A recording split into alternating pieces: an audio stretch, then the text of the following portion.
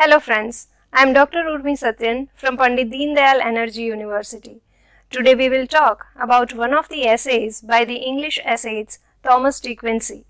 De Quincey was born on 15th August 1785 and died on 8th December 1859 and so we can clearly say that he belonged to the age somewhere between that of Romantics and Victorians.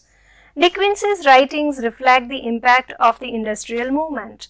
In his young age, he was addicted to opium. His essay, his essay collection, Confessions of an English Opium Eater, shows how England was under the tight grip of opium. These essays were not only popular but also eye-openers. When Charles Lamb read De Quincey's essays, he offered his journal's editorial chair to the latter. So with this brief introduction to Thomas De Quincey, let us study one of his essays, The Knocking at the Gate in Macbeth. To comprehend this essay, we need to understand the contextual reference to it. The action of knocking in the play Macbeth is the source of inspiration to De Quincey in writing this present essay. Why does De Quincey get captivated by the sound of knocking? That is an obvious question. Let us explore. Every sound captures our attention and if that sound is untimely, it certainly demands our conscious attention. It builds a kind of enigmatic pressure and force inflicts the feelings of doubt, fear and suspense. The present essay studies this sudden and unexpected sound as a dramatic device and the essayist Thomas De Quincey justifies it as the requirement of the situation in the play. Whether the sound is an intrusion or an intentionally employed instrument is a problem question. To decipher this intertwined role of knocking, we need to understand two scenes from the play Macbeth. First is the murder scene and the second is the Porter scene. We all know that in the play Macbeth, Lady Macbeth challenges her husband Macbeth's manhood and instigates him to be the king of Scotland by murdering Duncan, the ruling king. Macbeth fails to resist her force of provocations and kills Duncan in the heat of passion. Post-murder, Macbeth's hands are all smeared with blood and his heart is full of guilt and remorse. The scene is engrossing and awe-inspiring. The audience is speechless and bewildered. It is this moment when the audience does not know whether to feel pity for Duncan, the murdered king, or Macbeth, the murderer. And at this moment of bewilderment and perplexity, Shakespeare swiftly and intelligently shifts our attention from the murder scene to the startling sound of knocking at the gate by a drunk porter. The sound of knocking is unexpected at this odd hour and so it is not found usual or normal. Along with the artist on the stage, we, the audience, also become anxious to know who is there. Our focus is diverted to a blabbering drunk porter who imagines himself to be the gatekeeper of hell. The audience expects him to rush and find who is knocking, but instead he gives various references and thus pumps up our feelings of anxiety and fear. First, the porter imagines farmer who might have hanged himself on expectations of plenty.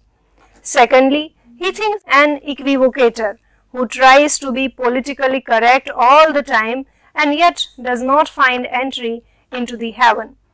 The third is a reference to an English tailor who stitches deceiving apparels and thus creates chances of betrayal and cheating.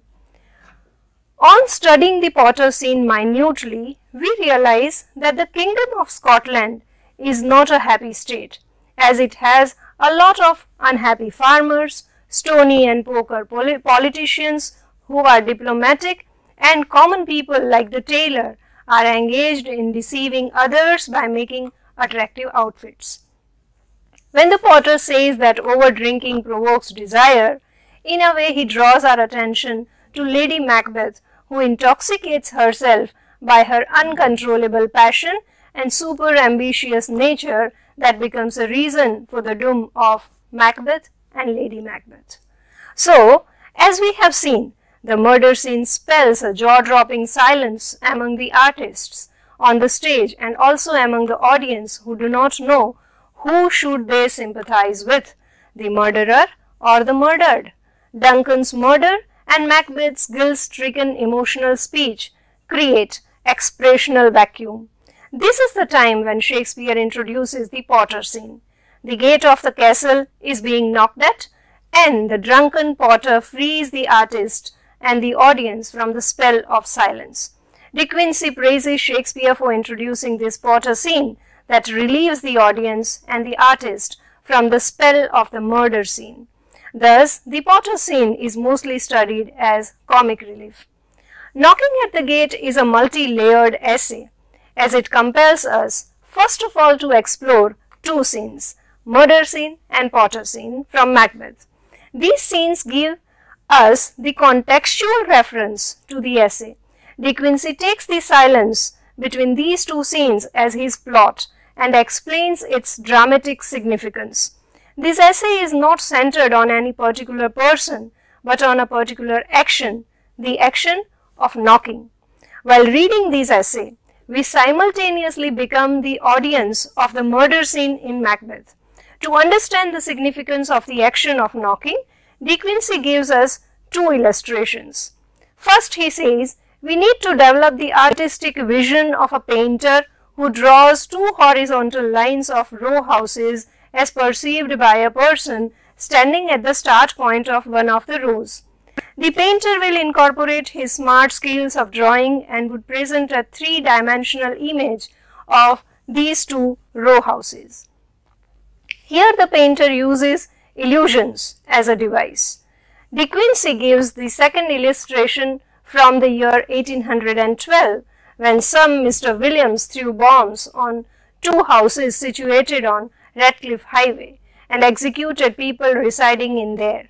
De Quincey says the bomber Mr. Williams was as fastidious as Lady Macbeth was.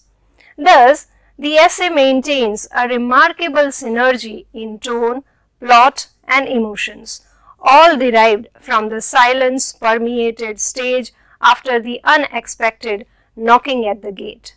De Quincey also draws our attention to the hell-like situation for Duncan and Macbeth. One is murdered and the other is the murderer. De Quincey writes, In the murdered person, all strife of thought, all flux and reflux of passion and of purpose are crushed, but one overwhelming panic.